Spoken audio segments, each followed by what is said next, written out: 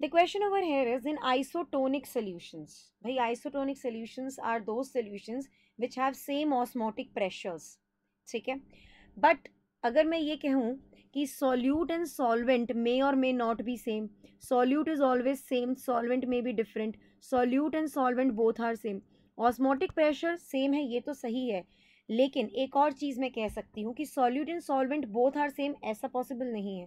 So solute and solvent may or may not be same third को हम mark कर सकते हैं।